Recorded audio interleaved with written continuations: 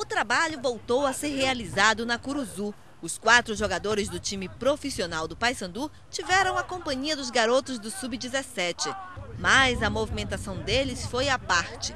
Fizeram um trabalho físico comandado pelo fisiologista José Carlos. Ao lado do gramado, o técnico Nazareno Silva observava tudo. Algum deles já chamou sua atenção em particular? De um modo geral, assim, a gente vê que todos os atletas sabem jogar bola, né? Agora o, a bola tem que passar para o futebol. Futebol onde entra o fundamento, entra o conhecimento, eh, entra a posição, entra a função. Então hoje dá para você ver assim característica, né? Caracteristicamente agrada bastante, ver que são jogadores aguerridos que estão brigando por um espaço dentro do futebol. Torrô e Paulo de Tarso ainda não retornaram aos treinos na Curuzu.